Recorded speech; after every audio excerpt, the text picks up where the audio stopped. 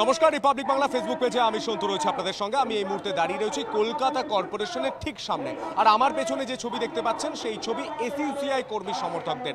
তারা আজ পথে নেমেছেন, আন্দোলন করছেন, কারণ তাদের একটাই ইস্যু ডেঙ্গি। সেই ডেঙ্গি পুজোর আগে হু হু করে বাড়ছে। ছশো ষোলো জন গত চব্বিশ ঘন্টায়, গত আটচল্লিশ ঘন্টায় ঠিক এই সংখ্যার কাছাকাছি ছিল। ছশো ষোলো জন পার করে গিয়েছে ডেঙ্গি আক্রান্তের সংখ্যা। শহর থেকে জেলা, শহরতলির বিভিন্ন প্রান্তের একই ছবি এবং সেই ছবি যখন সামনে উঠে আসছে, সেই ছবির বিরোধিতা করেই তারা আজ রাস্তায় নেমেছেন। তারা বলছেন, কলকাতা কর্পোরেশনের তরফ থেকে সঠিক ব্যবস্থা নেওয়া হচ্ছে না। কলকাতা কর্পোরেশনের তরফ থেকে সাফাই অভিযান চালানো হচ্ছে না। তারা বলছেন, সাফাই অভিযানে যে সকল কর্মী কাজ করে, সেই কর্মীদের পোস্ট এখনও খালি রয়েছে।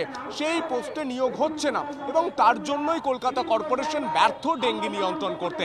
এসইউসিআই কর্মী সমর্থকরা আজ লেলিন মূর্তির পাদদেশ থেকে এই মিছিল শুরু করে। সেই মিছিল সোজা এসে পৌঁছয় কলকাতা কর্পোরেশনের সামনে। কলকাতা কর্পোরেশনের সামনে তারা বিক্ষোভ দেখাচ্ছেন এই মুহূর্তে। ডেপুটেশন দেবেন কলকাতার মেয়র ফিরাদ হাকিমকে। যদিও মেয়র ফিরাদ হাকিম তিনি উপস্থিত নেই, তার প্রতিনিধির হাতে এই এই এসইসিআই কর্মীদের প্রতিনিধি দল সেই ডেপুটেশন তুলে দেবে এবং তারা বলবেন যে এই ডেঙ্গি নিয়ন্ত্রণ করার জন্য কলকাতা পুরসভা সচেষ্ট হোক। কলকাতা পুরসভা একদম কোমর বেঁধে রাস্তায় নামুক। কারণ যেভাবে ডেঙ্গির আক্রান্তের সংখ্যাটা বাড়ছে, আমরা জানি গত দু বছর পুজো মাটি হয়েছে কোভিডের জন্য। ডেঙ্গির সংখ্যা যেভাবে বাড়ছে, পুজো আসতে আর মাত্র কয়েকদিন। তার আগে যদি ডেঙ্গি এভাবে হু করে বেড়ে যায়, তাহলে পুজোর আগে সাধারণ মানুষকে সমস্যায় পড়তে হবে। সাধারণ মানুষের কথা ভেবে কলকাতা কর্পোরেশন একটু সচেষ্ট। হোক কারণ কলকাতা কর্পোরেশনের যে সকলগুলি ওয়ার্ড রয়েছে, সেই ওয়ার্ডগুলি ঘুরে মনে হচ্ছে যে সাফাই অভিযান চলছে না, তার নিদর্শন রয়েছে। ঠিকভাবে পরিষ্কার করা হচ্ছে না ড্রেনেজ সিস্টেম খারাপ এবং ড্রেনেজ সিস্টেমে যে সকল মশার লার্ভা জন্ম নিচ্ছে, সেখানে স্প্রে পর্যন্ত করা হচ্ছে না। এই এতগুলি অভিযোগ রয়েছে, তারা বলছেন কলকাতা কর্পোরেশনের আন্ডারে ওয়ার্ড ভিত্তিক যে সকল হাসপাতালগুলি, চিকিৎসা কেন্দ্রগুলি রয়েছে, সেখানে ডেঙ্গির ভর্তির ব্যবস্থা করা হোক এবং ডেঙ্গির যাতে চিকিৎসা হয়, তার ব্যবস্থা করা হোক। ইতিমধ্যেই এসইউসিআই কর্মী সমর্থকরা তারা বিক্ষোভ করছেন, প্রতিবাদ করছেন, আন্দোলন করছেন এবং তাদের আটকে দেওয়া হয়েছে গার্ডেল দিয়ে।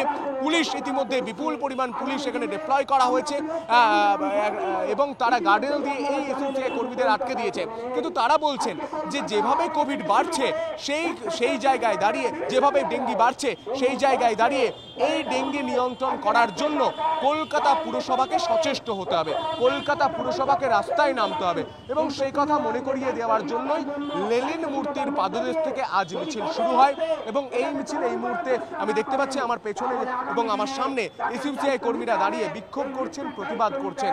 এই জায়গায় দাঁড়িয়ে তারা বলছেন যে ডেঙ্গি নিয়ন্ত্রণ করার জন্য কলকাতার মেয়র, কলকাতার যারা পুরসভার যারা কাউন্সিলররা রয়েছেন, তারা সচেষ্ট নয়। একথা মনে করিয়ে দিতে তাদের এই আন্দোলন। এবং এই জায়গায় এই সমস্ত ছবি, ডেঙ্গি সংক্রান্ত যাবতীয় খবরাখবর আমরা সবার আগে আপনাদের কাছে পৌঁছে দিচ্ছি। তাই আপনার একমাত্র নজর থাকুক শুধুমাত্র রিপাবলিক বাংলায়। কারণ সব খবর, সব ছবি সবার আগে একমাত্র রিপাবলিক বাংলায়। তাই আজ এখানেই শেষ করছি। ভালো থাকবেন। নমস্কার।